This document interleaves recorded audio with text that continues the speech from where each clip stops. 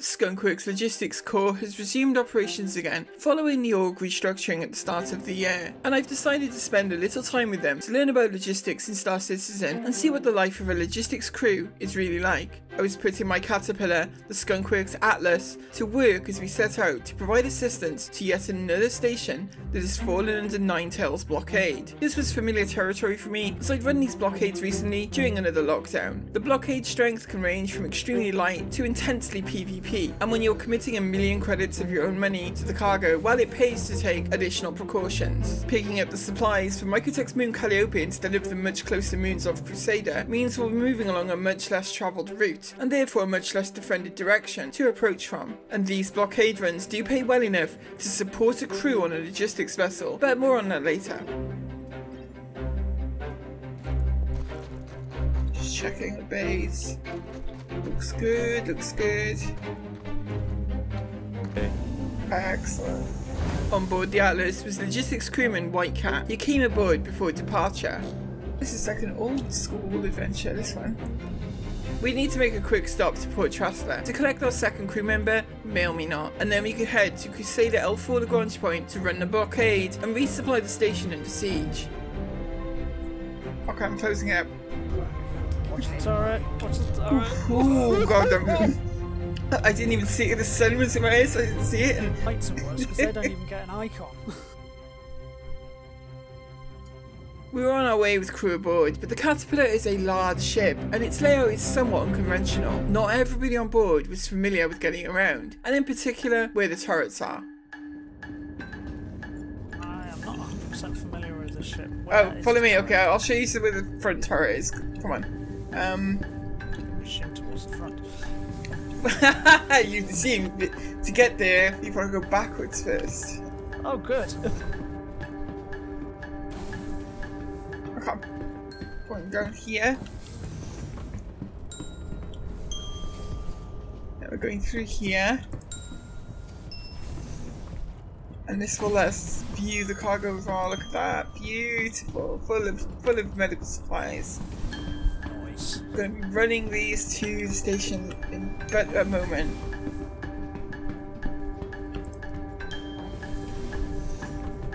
So many as well. A million credits worth. That's the way to do it. Okay, there you go, front turret. Nice. That's a turret. Where's the other turret actually? Because I've only ever been in the front one. And with both gunners now set, we were ready to run the blockade.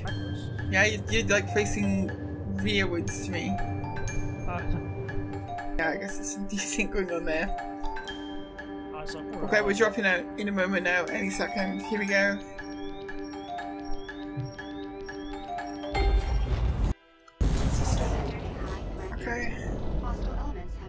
200 kilometers out. We've got two Two hostiles hostiles, yeah.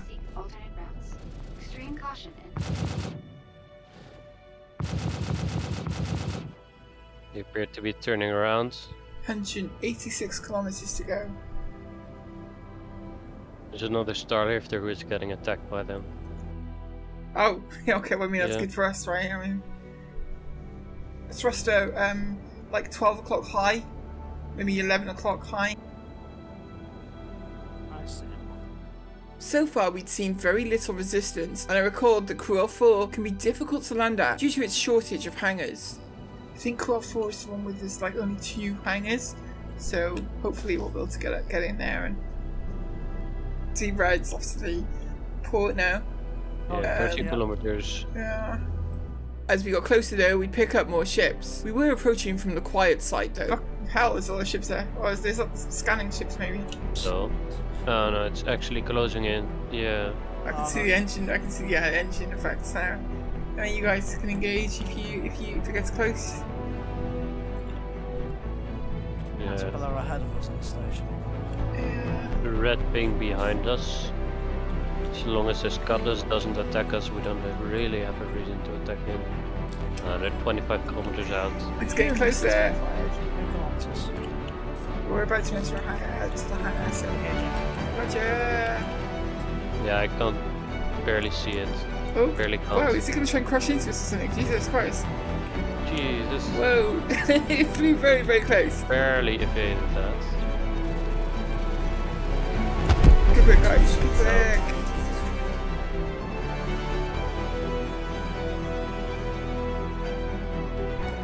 Valkyrie closing in, but we should be now here by the time it gets here. I think so, yeah. Slow her down. Left and then. Good? Okay, good, good. I'm gonna go and, um, I'll go and get this load sold.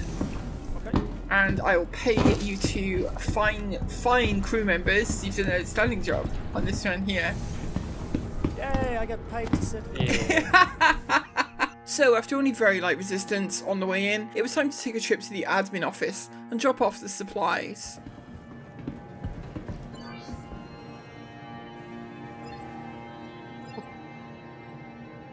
So sell.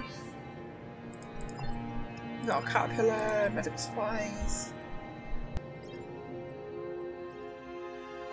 On these runs, the actual profit from cargo isn't that great, but the bonus for supplying the blockade running mission is substantial. And I'd immediately pay the crew for their of what we just made. A paid crew is a happy crew after all. Initiating ship storage procedure. For your Okay. safety, please vacate the area. Money has been sent. Run one complete. We're all rich now, we're all yeah. Getting off the station here would not be so simple. These two hangars are in high demand during lockdown. Man. Okay. Right now, we are trapped within the blockade. Yes. no, wait. What does that mean exactly? Okay, basically, there are only on this station. There are only two hangars, right? And obviously, they are popular because uh, people are trying to drop off medical supplies. So what that essentially means is, right now, we can't get. areas are currently full. Caterpillar. Please hold for assignment. We're officially part of the population of Kural 4 Shallow Shallow Fields Station. They sell hot dogs, so it's not it's not a total loss. But more strangeness would follow. Oh, hang on, there we go.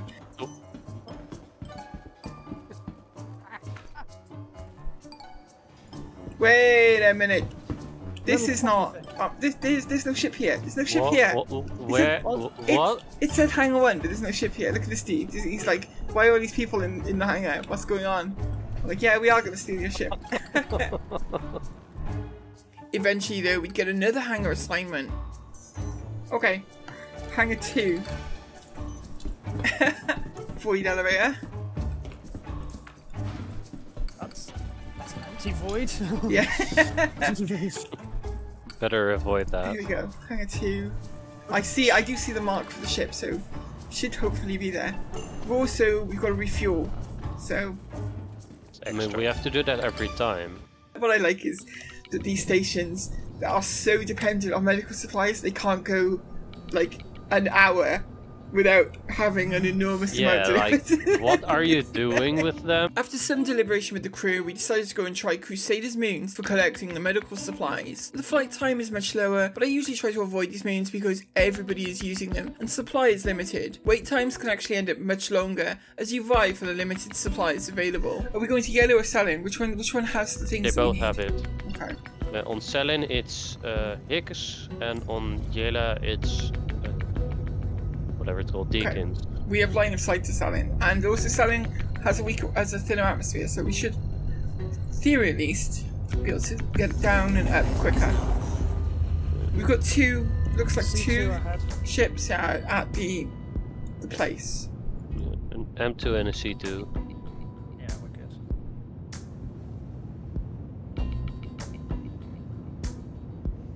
It's actually the trading area is near the C2 on the other end of the outpost. There were a large number of starlifters here already. This was not a good sign. Okay, if you want to, if you want to move up to the bridge, then while I go in. Yeah. I'm on my way. See, and people say logistics is a boring route. Yeah, when you've got a lot of money and you pour it all into like a set of goods in one ship, it, it- you can't say it's boring because it's fucking terrifying. Uh, the stakes are very high, right? Like, and that, when you've got a million credits invested in a, in a, in a trip, the stakes get very high. yeah, you sort of get to the other end, it's like, don't bump anything.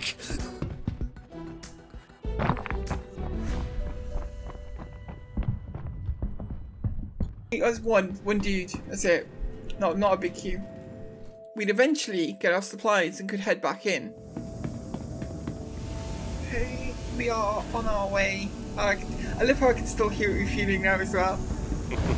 The Caterpillar makes for a great transporter of cargo, and during a 9 tails lockdown like this, you can put enough credits in to make the time worthwhile for a crew aboard your ship. Provided you have the initial investment capital, you can fill the cargo bay up completely and get out there and run the blockade. But Nine Tails are not always blockading stations, and so I wanted to know what kind of profits can be made running a Caterpillar like this under normal peacetime conditions. I'd used some third party trade tools in the past to find a trade route and move some cargo in the raft last year and I'd use the same tools again here. I'm very much a beginner in this kind of role though, and I was just looking to trade whatever was available and see what it returned.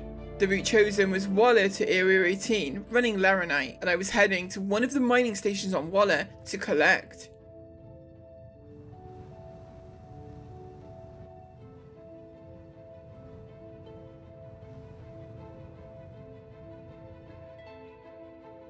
But when I arrived at the trading terminal, well, the supply of Laranite was much, much lower than the trade tool indicated. Much lower. So I needed to fill up on various other materials too. I've since learned that the supply rate of goods is a very big problem for trading in Star Citizen in general. And so this shortage I saw doesn't seem out of character for a typical run. With the cargo bay now full of metals and minerals, I was heading down to Area 18. And it was the first time in a while, actually, always special to revisit Area 18.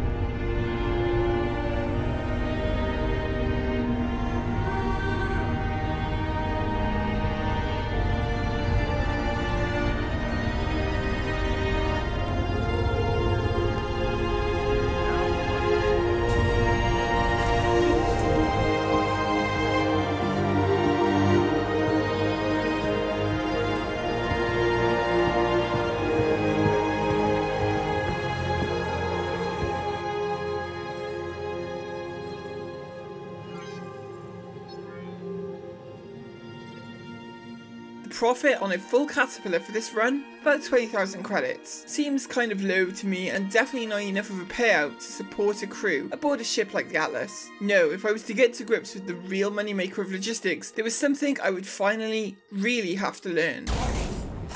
Oh, okay, pulling off, pulling away, pulling away. Yeah, oh, oh my god, oh my god, oh, Goes real fast. Oof. Ship is fucked. I'm not dead, but like my ship is my ship is 100% disabled.